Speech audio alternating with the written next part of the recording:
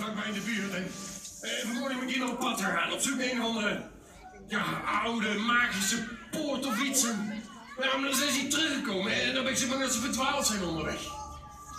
Ehm oh, wat, wat zeg je? Is dat hier achter het doek? Zit hierachter?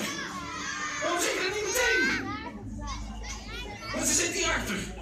Maar dan moet ik, gelijk heen. Voor hetzelfde gaat is iets gebeurd. ehm. nee, ja, ja, super bedankt. Ik, ik, ik ga gelijk kijken. Ja, jongens, ehm, ehm, als je hoort, uh, blijf staan maar waar je staat. Ik, ik, ik, kom eraan hoor. Oh, hemeltje. Helemaal achter dat doek.